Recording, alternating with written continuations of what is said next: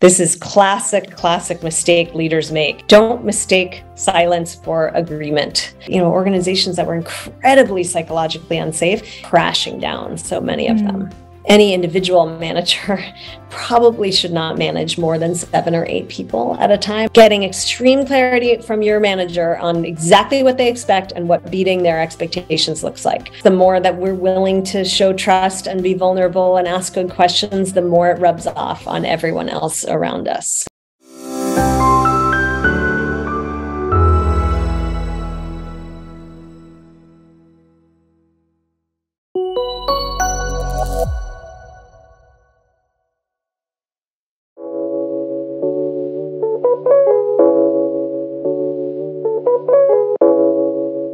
So, good morning, everyone. Thank you so much for being here. It's a great way to spend a Tuesday morning. I think it's better than any other way to spend the Tuesday morning for today. Uh, my name is Ruby, and I'm the CEO and co founder at Curieous. I'm also the host of People People.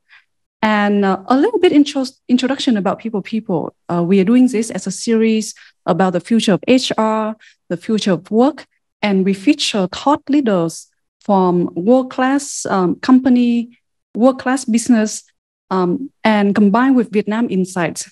And our mission is to elevate Vietnam's businesses and people to the next level. And this series is co-produced by Viet Success and Curieous. Um, Viet Success, probably you've known them for a long time. They're very famous in the country. They, they are one of the leading media companies in Vietnam for high quality edutainment content for business and professionals. And Curieous is a startup. We are new and we are building a new um, social network for professional on-the-job learning. And today's topic is a topic that I really love, and I'm learning a lot and practicing it to build my company. And it is about building psychological safety in your culture. And to talk about this topic, there's no one else that I know that is better to talk about this topic than the speaker today. Is um, I, I'm very honored to introduce Jennifer Dulski. She's a CEO and founder at Rising Team. She's a faculty at uh, Stanford GSB, board member of many international companies. Yeah, she's a best-selling author of Purposeful. It's a book about leadership and culture. And um, before this, she also has a wide range of executive experience, including leadership roles at Facebook, Google, and Yahoo. Wow. Is there any big tech, um, any more big tech company to work for? Uh, so I'm super honored and I'm super excited to introduce Jennifer today. And uh, Jennifer, we are all looking forward to hear from you. Thanks for having me. And it's lovely to meet you all. And yes, it's morning for you and nighttime for me. So it's a little dark where I am, but hopefully you can still see. And I am going to share a few slides. I have a, a short presentation about psychological safety, why it matters, how you can build it in your own teams. And then we'll go to Q&A. So get ready with any questions that you have. And one thing we'll learn about psychological safety is that there is no question that is too you know vulnerable or feels silly the whole point is to try to make this a space where people feel safe to speak up. So let me share my screen. So today as we talked about we're going to discuss how to build a healthy workplace environment and culture with psychological safety. And this is critically important to all of us as leaders and managers as and as individual contributors on a team to make an environment like this Okay, so I'm Jen. Ruby introduced me a little bit already. I have been leading teams for 25 years at all different size companies. So I've led very large teams at Facebook and Google and Yahoo. And I've done two zero to one startups. This is my second one. So my current team, quite small, 20 people. And then I also helped scale change.org around the world. And as Ruby said, I now teach two classes also in leadership and management at the business school at Stanford. So I spend all my time thinking about high performing teams and how I help people both on teams and leading teams be the best that they absolutely can be. So, you know, this is it's important to have a successful team. The challenges that we're living in a workplace that has really changed dramatically in the past two years. So, even if you've been leading teams a long time, what you need to do today is really different than what we all needed to do, you know, three, five years ago, because we're in a world now where almost half of all employees are either thinking about leaving their jobs or quiet quitting their jobs and really demanding a lot more of their employers. We're also in a world where two thirds of all knowledge workers work either hybrid or fully remote. And also, when you look at the data, there's a growing gap between how leadership feels, especially at large companies, and how everyday employees feel. And if you dig one level deeper into that and look at the data, this is global data. On this chart, on the x-axis is things employers think are important and on the y-axis what employees think are important. And the items in this blue box are things that employees really care about that a lot of employers aren't really delivering on today which is how do we make people feel valued by their organizations feel valued by their manager give them a sense of belonging build up trust and care with the people they work with and the challenge is that those are things you can't really do top down. You know, you can maybe if you're at a small company, but the bigger your company gets, the more you need to do this team by team, manager by manager. And, you know, having engaged teams, having psychological safety, you have to have managers who can deliver it. Most managers will tell you they don't really feel equipped. And that's part of the reason why learning, you know, um, is important, like the company that Curieous is building. It's part of the reason why companies like Rising Team are important. So let's dig in a little bit deeper into what is psychological safety and why we need it. So, the way this is defined, and Amy Edmondson is a professor at Harvard Business School. She's the person who coined this term. And we describe psychological safety as an environment where people believe that their candor is welcome, that they can feel free to speak up without fear of repercussions, thinking nothing's going to happen to them if they speak up and say what they believe. And also where they have trust and feel comfortable potentially being vulnerable with each other. So that's what it, means to have a psychologically safe culture. And then you ask, well, why, why does it matter? Why does it matter if people feel trust with each other and, and feel free to speak up? It matters. So Google actually did a study of teams all around the world called Project Aristotle, and they found that the number one most important factor across teams that were high performing in their organization was psychological safety. So you could look at teams that felt like they had this, that they felt free to speak up and felt trust with each other, and teams that didn't, they were vastly different in their performance. And Amy Edmondson, who studied this across all sorts of companies around the world, has shown in her research that teams with higher psychological safety have better teamwork, more innovation, they're more creative, they're more inclusive, and they also do a better job of preventing errors and mistakes. So that's why it matters. Then you ask, what happens when you don't have it? What if, you know, what, so what? What if you just don't have it? Well, the first thing that happens is your employees and your teammates feel unhappy. They feel scared. They feel dissatisfied. They often leave. And so if you want high retaining, high, highly engaged teams and companies, you got to do it that's at the kind of low end of not of not really investing in it. At the extreme end of not having it really bad things can happen to your company. So a couple examples here. This one you may or may not have seen because it was mainly in the us but this is that wells fargo is a big bank in the us they had a huge scandal a couple years ago that is still plaguing them of um, all sorts of junior level employees creating not accounts that people didn't ask for. They created extra accounts under their customer's name because they were being so pressured from the top to drive new business and no one in the middle spoke up and said this is wrong. They all just let it happen and all those junior people started these accounts and then they got found out and you know it became a big big problem with them. They owed billions of dollars and lost a lot of customers and it was really tragic because their environment wasn't safe enough for people to speak up when they felt something was happening that was wrong. An even more dramatic example which I know you've all heard of, is the Boeing 737 MAX crashes. So the that plane Boeing knew, and there's a lot of data that shows that various people at various levels in their organization knew that the software was faulty, and no one spoke up. This is a psychologically unsafe and workplace, right? They didn't feel safe enough to speak up, and they let these mistakes through, which ended up causing two massive plane crashes and killing hundreds and hundreds of people. So we want organizations that have psychological safety for all kinds of reasons. They are the best, highest performing teams and companies. And if you don't have it, it can really lead to some very bad things. Okay, so I want to dig one level deeper and talk about there's actually four stages of psychological safety. So, Tim Clark um, wrote a book called Four Stages of Psychological Safety, and he describes the stages.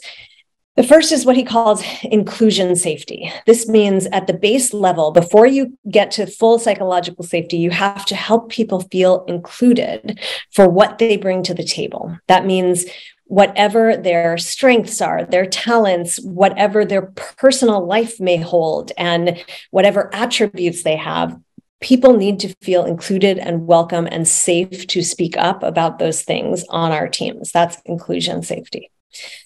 The second stage is learner safety. This is once you feel included and that you're welcomed for whatever attributes you bring to the table. The second is being able to admit that we don't know everything and that we want to learn new things. So, this is being willing to ask for help when we need it, asking questions, just like we said, no bad questions, like safe environment. We are all learners and we all want to grow together.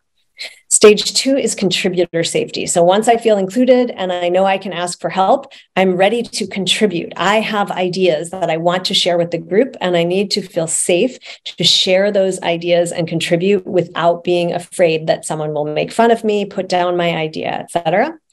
And the fourth stage is challenger safety. This is what we talk about when we get to Boeing example, right? Like I need to be feel included, feel safe to ask for help, feel safe to contribute ideas, and I need to feel safe to challenge other people's ideas or, you know, things that we're building, things that may be mistakes. This is why we say psychologically safe teams are better at error prevention.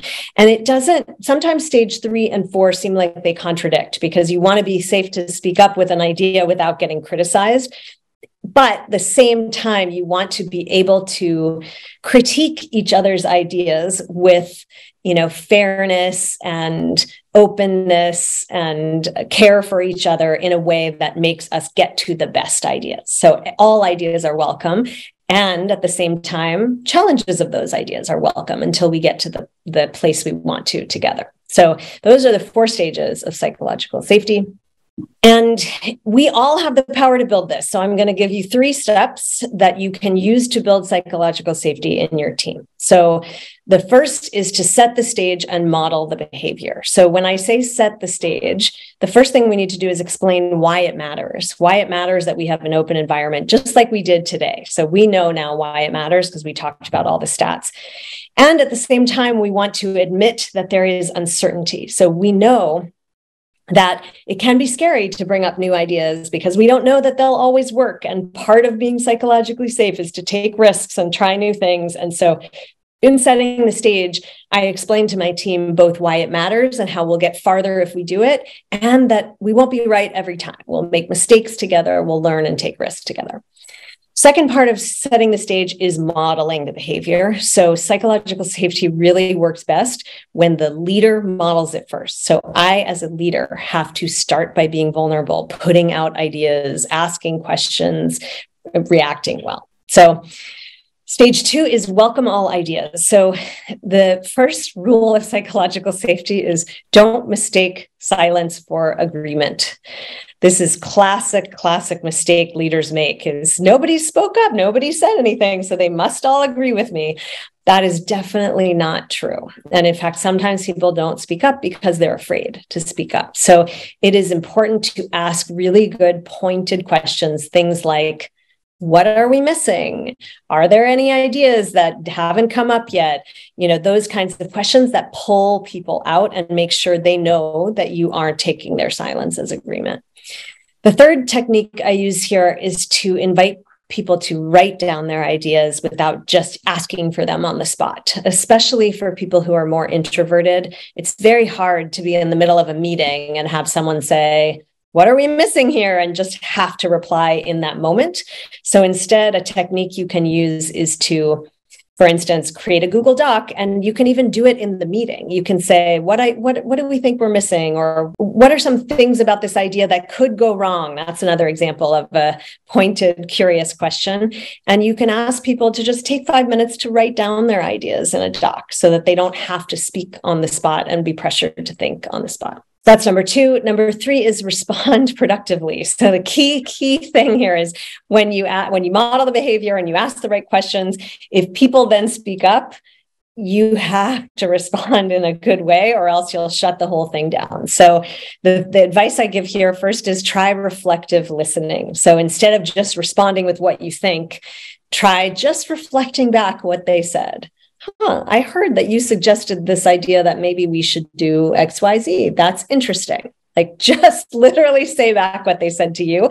That validates their idea. And they might say more if you do that.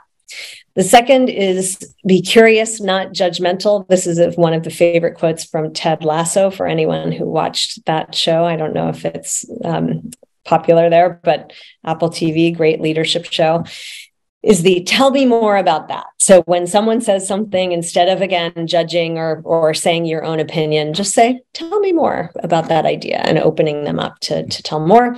And then um, this I think we'll get to a little more in the Q&A, but the idea of celebrating mistakes and even failures can be a great way to encourage people to take more risks. Um, so, those are three techniques set the stage, model the behavior, welcome the ideas, and respond productively for how you can do this in your own teams. Um, I'm going to tell you very quickly a little bit about Rising Team and what we do, because this is another thing that can help you um, if you want to build psychological safety and other techniques within your team. Um, so for people who are curious, what we built at Rising Team is what we call a team development platform. It's basically software that turns every manager into an expert facilitator of connecting meaningful team building experiences for your team. And they're around different themes and each kit has a different theme. One of our kits is about psychological safety. And basically what it does is you just kind of hit go and everything that an outside facilitator would do for you like learning goals and a warm-up activity and a, an interactive um, exercise and data aggregation and reminders and action items they're all in the software for you to follow. And again one of them is on psychological safety and I will just say that it is pretty well proven to work. Also, Ruby and her team use it, so they may give you some feedback. But essentially, all teams that go through it, almost all of them, say that they feel more connected, they learn something valuable, and they'll work better together. If every time you ask a question, you get no responses back, that probably means people don't feel really comfortable to speak up. Any individual manager probably should not manage more than seven or eight people at a time. Only when people feel safe are they willing to take the big risks and try to do big things because they know that if they make a mistake or fail, it will be okay.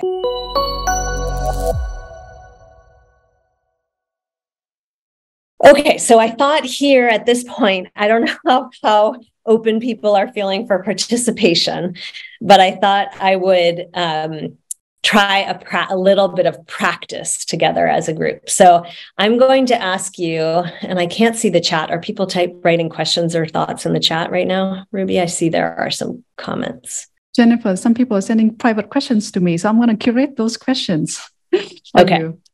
I'm going to ask you all a question in the chat, though, right now, which is on a scale of one to 10, if I asked you to tell a really vulnerable personal story right now about something that had happened to you at work, how likely would you be to want to share that right now in this session on a scale of one to 10, with 10 being the most likely to want to share it and one being the least likely? Okay, so uh, a range I see kind of a lot of people kind of in the middle, not sure, right? So, what I'm going to do now is I am going to model a personal, vulnerable, work related story. And I told Ruth, yeah, I was so sure about doing this, but I'm going to give it a try for the sake of, of our practice there session. Go, here. So, yeah. we, have, we have your back.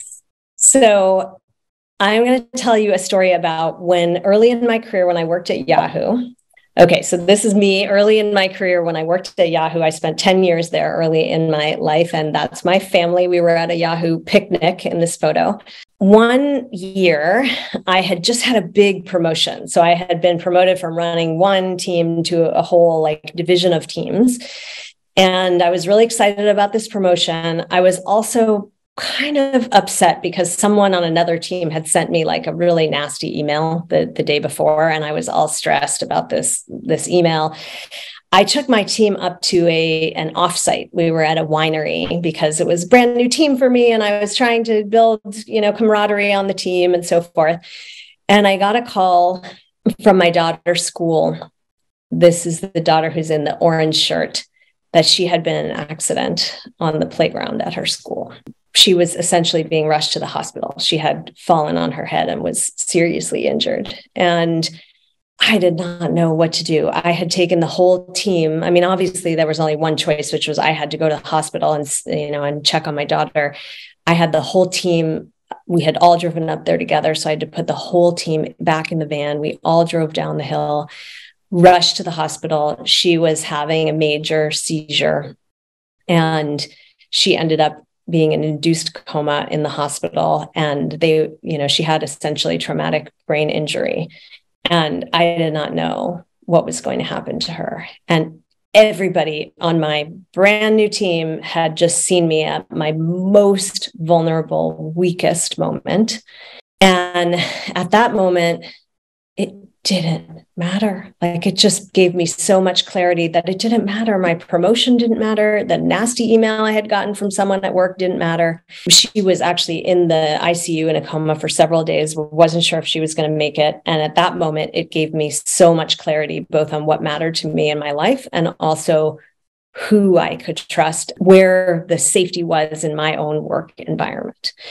And luckily for all of us, she came out of the coma. She ended up having a full recovery. I should have put another picture in here because she just graduated from college last year. This was 2007, so it was a long time ago. And she made a full recovery. But I think for me, that moment changed how I thought about everything on the teams that I work with because I realized and actually I'm going to ask one more question in the chat now. Well, I'll ask two more questions. One one question I often ask is how many people have been called or messaged about a serious medical or health issue either about yourself or someone that's close to you while you've been at work.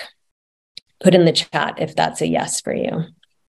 So you can see it's kind of half and half here is what it looks like. Um, and also my guess is that you, you may have a slightly younger audience. So my guess is more, you know, this turns to yes for a lot of people as we go through our lives. And the amazing thing to me is when you ask a question like this, like we sometimes assume that we go through these things on our own and that no one else is affected by them. And then when you ask people, it turns out so many people are. And so part of the reason I tell stories like this is to make it okay for other people to come in and say, this stuff is happening to me. It's hard. It you know this is all actually part of that very first step of psychological safety which is inclusion safety. So with that i'm going to ask the question one more time. So now that i've told this story go back to your 1 to 10s and just think about does this change at all? And it may not but if it changes at all the number put in you know just put in your new number. If that changes at all your willingness to tell a vulnerable story. Okay i'm not going to wait i'm not going to make everyone type in but i think what we can see is that as is often the case the more vulnerable one person is likely to be, is able to be, the more likely it makes other people feel comfortable to get into that space too. And so when I say, you know, it's on us to model this as leaders. It doesn't have to be super personal in the way I just told the story. That's the one I chose to tell, but it might be an example of a mistake we made at work or something we're struggling with or things like that that make it easier for our team to also say, this is something I need help with or I'm struggling with right now. So that is the end of my formal presentation. And now we can go to questions. Thank you. Thank you, Jennifer. Thank you for sharing your condensed wisdom in just 20 minutes and also sharing with us your vulnerable story. when I was listening to the story, my heart was pulling. I'm like, oh my God. And I'm glad to hear that uh, your, your daughter recovered well. Uh, that's great. And um, so let's uh, continue on that vulnerable story. Um, beyond that story, how often do you feel vulnerable as a leader in your team, in your company, whether it's your own company or other companies that you work for? Like, how often do you feel that? All the time. So I I talk mm-hmm. about my analogy for work, for leadership, and for work in general is that it's like climbing a mountain, and some days are super sunny and I brought a picnic lunch and I can see the top of the mountain and I I'm guaranteed that I'm reaching the top. And other days just feel horrible. Huge storm is coming. I feel like I'm way back at the bottom. And honestly, some days are both. You know, you might sign a big customer and then something bad happens. Your competitor launches something big and it can be back and forth and back and forth all the time. And I use this analogy now with my team a lot. And so we can all say, you know, sunny day or it's cloudy day on the mountain today. and it just helps because it's a reality for all of us, no matter how far we get, no matter how successful we are, there's always cloudy days. And the key, and there's always sunny days too. Like the key here is remembering that both days will happen and that the key is just to keep moving, right? Like you just keep climbing one step at a time. And when it's sunny, appreciate it. Don't stop too long for a picnic. And when it's cloudy, just remember it will get sunny again if you just keep going. So that's great to hear. Uh, recently, I've been go, going through a lot of cloudy days, and just hearing you yeah. talking about this just make me feel a lot more hopeful. It's and yeah, true. the clouds all have them. Um, let's get back to um, what you've been sharing in the presentation.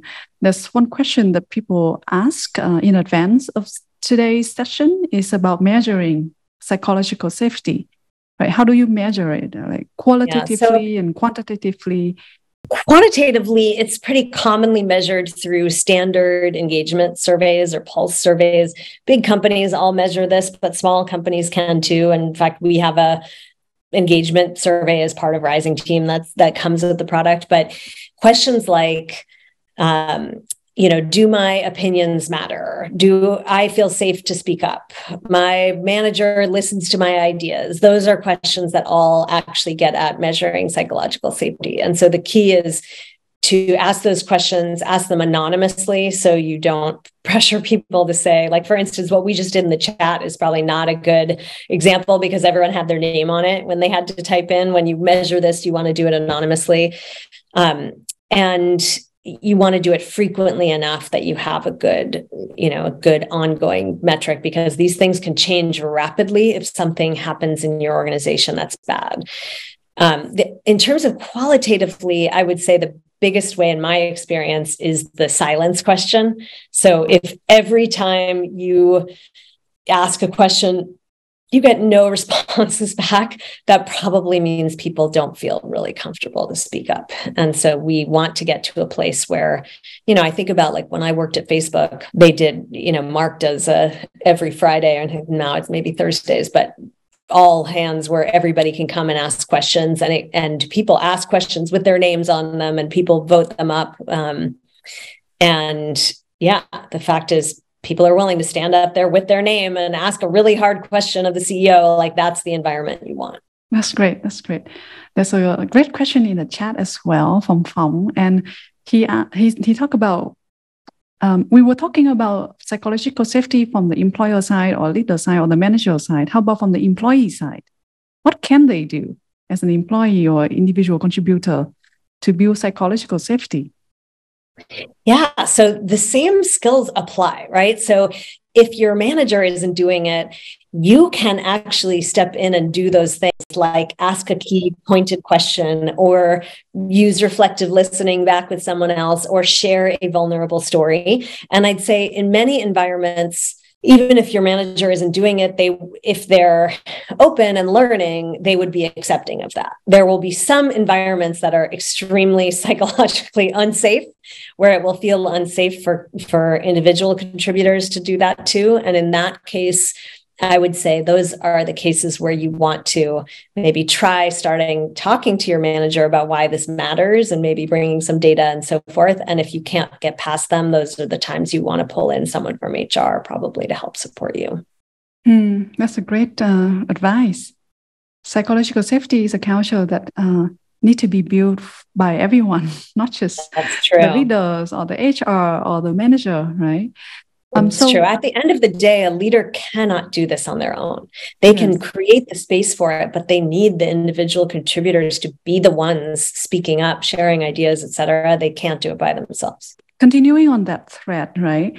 I believe there's a lot to do with hiring, to bring bringing the right people who are willing to speak up, willing to be open-minded, willing to challenge uh, other people's point of view sometimes. So, how much hiring has to do with this culture, and how do you find the mm. right person to bring in to build this culture? Yeah. In my um, experience, the thing when you're hiring, I use a model of creating a hiring scorecard, and the scorecard has two elements. One is results, like we usually say, what does this role have to deliver, and how can we measure whether the person will be likely to be able to deliver that? And the second, we we call it values. You can call it attributes. You can call it culture. We interview four specific values that tie to our company. And one of those may be, you know, for us, for instance, one of them is we grow through continuous learning and practice. So we look for people who actively want to learn, are willing to make mistakes, are willing to keep standing up after they fail, and so forth. That's an example of someone who would do well in a psychologically safe environment. And we ask questions to try to pull out experiences from their past um, that show that. So, as an example, I had someone in an interview once in the values interview where I was asking these kinds of questions. And the story he told me, which was unbelievable to me at the time, was an example of something where he had found a big mistake that he had made in the code. This is an engineering interview. And he realized at that moment that he could fix it, not tell anyone, and probably it would go unnoticed. Hmm. And then he decided that he didn't want to do that. Even though he thought he could get away with it, he wanted to speak up and explain what, what had happened and what he had done and what he learned from it and so forth. And he talked about doing that and what happened. And to me, that was an excellent example of someone who would perform well in a psychologically safe environment because he was willing to speak up about, in this case, an error that he himself had made. That's the ext- most extreme example of psychological safety. That's a great example of integrity. yeah, I know. yeah. Um, so if a team doesn't have enough psychological safety because you just did a, a survey and there's signals that show so, right? Um, what are the steps you would recommend the team manager or the leader to take? And uh, if you're managing a small team versus you, if you're managing a big team, uh, will the steps be different?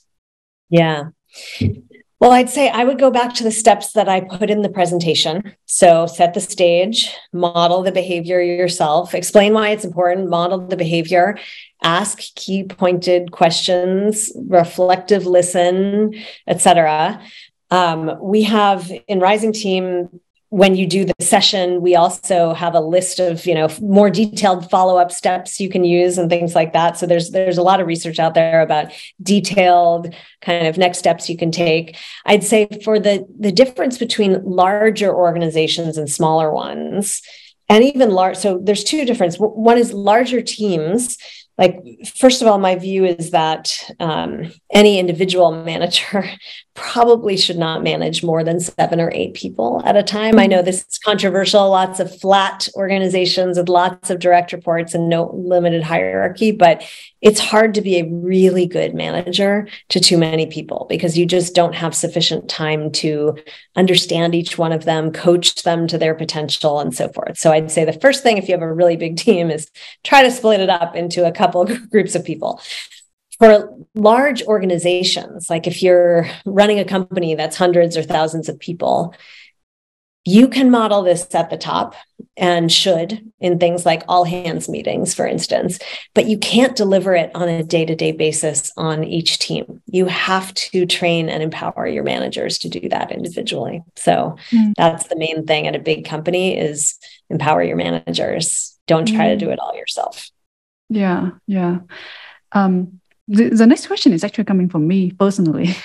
this is something I find hard to balance is to create and maintain and build up that uh, psychological safety. At the same time, I personally believe that I should push people to go beyond their comfort zone. And that's where they personally grow and the company grow as well, right? And I know these two are not like in conflict with each other. They're actually like com- complementary to each other, but it can be very hard for young leaders to balance this. So yes. I want to ask you for your personal experience. I'm sure you are you, you have a little bit of uh, that ambition to push people beyond the comfort zone as well. I Do. So how do you handle I, this? yes, and I, yeah. you are exactly right. This is connected, deeply connected to the idea of psychological safety because only when people feel safe are they willing to take the big risks and try to do big things because they know that if they make a mistake or fail, it will be okay the idea is how do you celebrate that learning as much as possible? So for we came up with this idea when i was at change.org and i've used it at every company since. We call it the festival of failure. And so the idea is um, and that's a nice alliteration in english but maybe you you know you'd have a different name for it that works in vietnamese. But um, the idea is that you want to celebrate as much as possible whenever people make mistakes so that not only they learn from their mistakes but everybody learns from their mistakes so when someone fails it's almost like you know how sales teams have like a gong they ring when when they close yeah. a deal it's almost yeah. like you want a gong to ring when someone fails big, right? And what we do, we have a chat, a Slack channel called Festival of Failure. We often have a section in our all hands meetings. At change.org, we had engineering demos where they would sometimes do nothing but present ideas that hadn't worked. And so the oh. idea is oh. the team gets into the idea of like, every time I do something that doesn't work, I'm going to present what I learned. And so, as an example, at Rising Team, we have this learning engine um, re- newsletter that comes out and every time we say okay here here was the test we did here were the hypotheses and if we meet the hypotheses it gets a green check and if we don't meet the hypotheses it gets a red x. And i always say the tests that have all red X's are just as productive for us as the team as the tests with all green checks. Because when you learn something that doesn't work, it's just as helpful knowledge. And you know, the the famous person on this front is Thomas Edison, who, you know, when he was inventing the light bulb, he is famous for having said, I didn't fail. I just found 10,000 ways that wouldn't work. And in doing that, he created the key was the speed of failure, right? And that's often what tech is all about. So he ended up creating more than a thousand patents. It's essentially like one for every two weeks of his whole working career because he got that speed of failure and that feeling of it being okay to fail was so out in the open. And that's what makes this work. Wow, I love your idea. I'm going to adopt your idea. yeah, that's still a failure. Take it. I see a question in the chat too. Yes, there's a question coming from uh, Fong. So Fong's question is: When the managers feel psychologi- psychologically unsafe, right? What are the the actions that the teammates can do? Is that what I the think the context is? of this question is? That uh, they feel unsafe because the team are not. Uh, oh, the team isn't I see, is, isn't yeah. supportive of them. I see. Yeah. Um, yeah, that does happen. And I think um, it's happened it to me. Like, all, even if I think back in my career, you know, when I first, too. what's that? Yeah. It happened to me too. Yeah. and maybe you have an idea here that you want to share. My story, like when I think about this, the time when this, the times when this has ha- have happened most is when I get promoted amongst my peers, which has happened a few times, and they don't really trust me yet. It's sort of, well, why should you have gotten this job and I didn't? Um, and what usually happens is because I try too quickly to change things or to assume they're going to respect me. So I think about what I try to think about here is how do I earn respect of the team? how do I show that I'm really in it with them? And it was on one of my slides, but you may not have noticed it. I was a coxswain on the rowing team in high school and college. Oh. I don't oh. know oh. if people know what that is, but you know, on the crew team, the person who sits in the back of the boat and steers and actually is like a little coach for the team. You're you're guiding them in the races at the pace they should go and you're coaching them if their oar is going in too fast or at the wrong angle. And it was hard for me to earn the respect of the team because they were working so hard and I wasn't. I was just sitting in the boat. And this is what happens sometimes to managers, especially in engineering or other fields where the team is working hard, doing lots of coding, and the manager is just managing. And people sometimes don't quite have respect for them. And so I would do things like, every single workout outside of the boat, I would do it with them. I would run up every sand dune. I would lift every weight. I would get up early in the morning and run with them. And then the other thing I did was try to understand each of them as an individual. So my job as a coxswain is very similar to my job as a manager. I have to understand they each have really different needs and desires and preferences. And the better I understood them as individuals, the better I could coach them. So for instance, in the boat, if someone's oar was going in too fast, one person might just want me to tell it like it is. Like, you have to be faster. Let's say they were too slow. You have to be faster or we're going to lose. And other people might want a little bit more encouragement, like, you're almost there, just a little bit faster. And if you give those two people the opposite type of feedback, they really don't like it. And so a lot of those techniques actually work for managers too. A lot of times it's about really trying to understand the people that we're there to coach and support, showing that we are there for them and on their behalf, and earning their respect. And then if they're just jerks, sometimes we fire them. So I love the analogy. It's actually like a sport team, right? A team is like a sport yes. team. Yeah. Yes. And as a manager, you, you don't have one style. You have to have a personalized style for your team member. Yes. Uh, it's, it's tough to be a manager, right? When you're young, you think, oh, I want to be promoted. I want to be a boss. And then when you become a manager, you, you are challenged with all these people issues. And it's hard. It's a lot. It's hard. Yeah. yeah. Yeah. Especially when you're young and the team members are older than you or they're more experienced than you. That's right. Uh, even if they're your peers before now, they're like, why?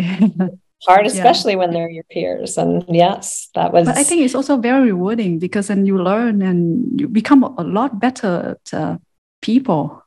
Yeah. That's right. And if you can earn that trust and help yeah. them grow too, it's really rewarding because you see what they are capable of achieving and you know you had a hand in helping them get there. Yeah. You know, organizations that were incredibly psychologically unsafe, it all came to a head and they've come crashing down, so many of mm. them. Getting extreme clarity from your manager on exactly what they expect and what beating their expectations looks like. The more that we're willing to show trust and be vulnerable and ask good questions, the more it rubs off on everyone else around us. It's the most likely thing to lead to success.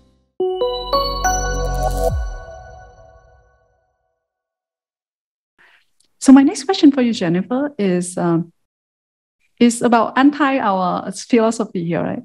We we both love this culture that is rich in psychological safety, but I still see there are a lot of successful business and organizations achieving their success without this quality in their culture. So what do you think about this? They will only get away with it for so long because really the best talent is not going to work for companies like that. And especially in the environment we're in now people will leave and and choose other companies. It's a little less true in the economic environment we're in now where people may have to make harder choices when jobs are less plentiful but that also won't last forever. So a few years down the line employees will have the power back and they will choose companies that treat them well and are psychologically safe the other thing that we talked about in the in my presentation is just that even if you can manage to kind of retain your employees and hire good people you have to understand that there is a big potential you know pitfall potentially right in front of you that you won't notice. This is the mm-hmm. boeing example and the wells fargo example. Like these companies are destined potentially for something quite bad happening with this kind of environment. It's just like i mean if you look at the entertainment industry. You know, think mm-hmm. about Harvey Weinstein and all of yeah. these examples of these, you know, organizations that were incredibly psychologically unsafe. It all came to a head and they've come crashing down, so many of mm. them. Mm. So your prediction is they can only get away with it for a while. for so long. Yeah. Yeah, that's great. So I, I'm gonna ask you to be a little bit vulnerable here.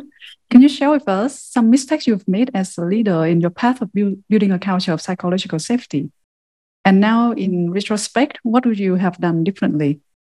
When I think back, especially earlier in my career, the mistakes I made around this were also mainly because I I didn't know about this concept at all. So I didn't I didn't know that this was something you should be aiming for, and there were some places where I made big mistakes. So one that I think about a lot when I first graduated from college, I started a nonprofit that was to help kids become their first in their families to go to university. And I raised all the money, I hired the team, and this program ran during the summers. And it's funny, this is years and years ago before. Before the before e-commerce was a big thing and i used to carry around this piece of paper in my pocket that had a list of items i needed at the store and the store closed at 9 p.m. And somehow I could never leave work before 9 p.m. And I always had this list in my pocket every day. And I would leave and come back and I'd still have the list. And I had a mentor who visited me and I was telling her this story. And I said, You know, I can never get to the store. And she said, what are you doing and i said well my whole staff they they want to work really late and i'm the one who has the keys to the building and so if they want to work really late what you know how can i stop them and she says it's not up to them it's up to you you know you're the leader you have to model that you don't work till nine o'clock every night and it just hadn't occurred to me i was mistaking silence for agreement right and just mm-hmm. because they weren't speaking up that they that they wanted to leave earlier because I hadn't left, they wouldn't leave. And it became this uh-huh. vicious cycle of them not feeling safe to say, I'm done working now. And so she really opened my eyes to that. And we actually did this work where we took the mission of my organization and we put it at the top of a piece of paper. And then I put my whole to do list down the side. And we took every item on my to do list because I said, Well, there's so much to do. We have to stay all night. And she said, That's just not true. Take every item on your list and run it by the mission of your company and see is this really important or not? And I now use a, a, rowing analogy for this too, because there's a great example of a, a boat from the UK that that was competing in the Olympics, I think in the early 2000s. And they had this process where they, they asked themselves this question every day Will it make the boat go faster? That's the equivalent of taking your mission statement and asking the question. And so they said, you know, what are we going to eat for breakfast? Well, will it make the boat go faster if we eat this versus that? Should we practice an extra half hour? Will it make the boat go faster? And so that's the question I use now at at Rising Team and at other companies, same as taking your mission and running it by your to do list. Will it make the boat go faster? Is the question. and, you know, I learned quickly not to like drive my team into the ground, which I was doing, which is a pretty psychologically unsafe thing to do. So, yeah, yeah, that's a great story. Thank you for sharing. Um, there's a question coming from the chat from Kwang, and uh, he has a distributed teams and they have biweekly all hands meeting and his question is about Is there any specific activities or other means that the leadership team or HR can do to help fostering a safe space where everyone can freely give their feedback? Yeah. Uh, I have a quick question, uh, a quick answer here. Use Rising Team. Try Rising Team. we built the whole product specifically for this. Um, yeah. But I'll let Jennifer talk about this. yeah. And it basically breaks the team down into groups of you know 10 or fewer and go, runs them through learning things together where they can speak up get to know each other share feedback etc the challenge with your all hands and i have the same challenge in my all hands too is that the bigger it gets the harder it is to speak up in that environment. And so one of the things we've done, for instance, for all our all hands is add a, an async Q&A feature where people can either anonymously or with their names on it ask questions in between the meetings, just as they come up. Or you might have someone who is the like collector of questions where people don't have to it could be questions or feedback or both.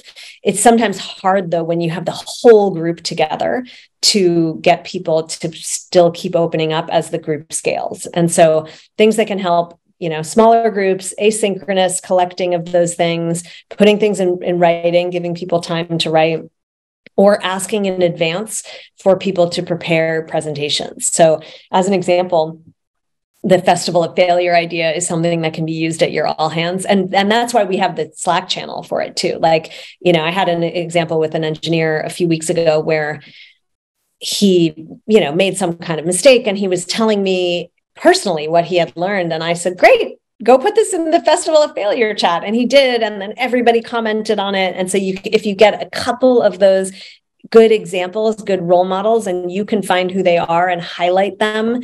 And if you want to highlight them in all hands, that encourages everybody to do more of that. I just want to share a little bit about Rising Team in my experience using it as a, a team leader. I really love it because it's open up, especially the first module about psychological safety, which is the first one that we did as a team. It really opened up people to feel a lot more comfortable to share what they feel and how they think and the way they want to be worked with, the way they want to be communicated with. So you guys should try it out. And uh, we don't have a lot of time, but so this is a quick question uh, for Jennifer from Tuan in the in the audience. What do you do with uh, managers who are micromanager and they're man- managing you in that style? Yeah, well, the, the, micromanagement generally comes from lack of trust. And the way to deal with lack of trust is to prove that someone can trust you. And so, what I suggest here is extreme clarity on expectations. So, what I find usually is that lack of trust comes from lack of clarity around what's expected and what's being committed to. And we actually have a session on this in Rising Team 2. It's called Clear Expectations. And we have a little framework that I'll give to you right now. It's called ROAD. It stands for request and measurement. So, what is exactly being requested of me? How will I measure if I am successful?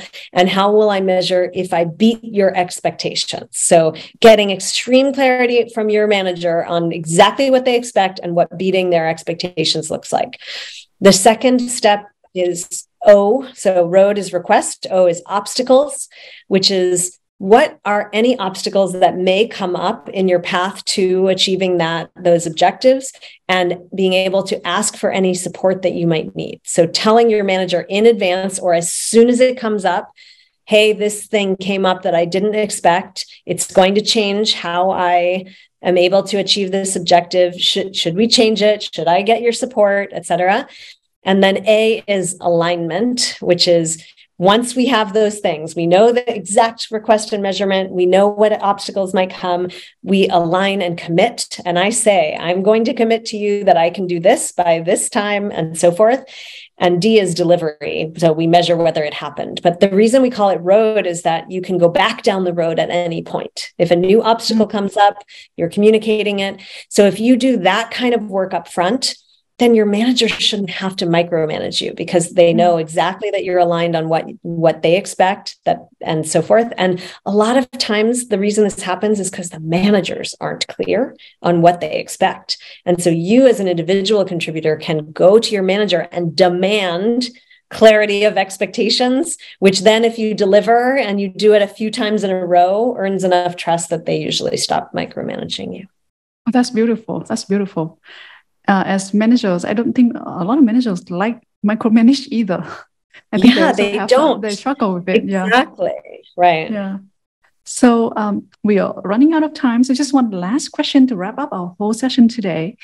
Um, Jennifer, if I can hire all the billboards in the world and put your message on there about building psychological safety, uh, what is that one message you want to send to everyone, especially the managers, the leaders, even the individual contributors, right, about this building this culture? What is that one message?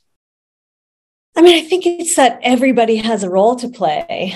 And the more that we act in this way ourselves, the more that we're willing to show trust and be vulnerable and ask good questions, the more it rubs off on everyone else around us. So, you know, be willing to play our part in mm. in building it. And mm. that's the most likely thing to lead to success. Perfect. That's a perfect message to end our session today. Thank you so much jennifer for sharing so generously and so openly uh, about all you know uh, in this um, culture uh, value of psychological safety. And thank you everyone for spending the tuesday morning with us for asking great questions. I hope you taken a lot of good notes also, I will say just to end that um, if anyone is interested in learning more about Rising Team, you can sign up for a demo, and anyone who signs up for a demo from this session will get special pricing promotion for us um, on the product too. Oh yes, and we'll send you the information uh, in when we re-air the episode and also in our recap email. So thank you, everyone. Have a great. Thanks for the great questions. Yeah, really good questions. Yeah, thank you, Jennifer. My pleasure. Thanks. And goodbye. Goodbye, everyone.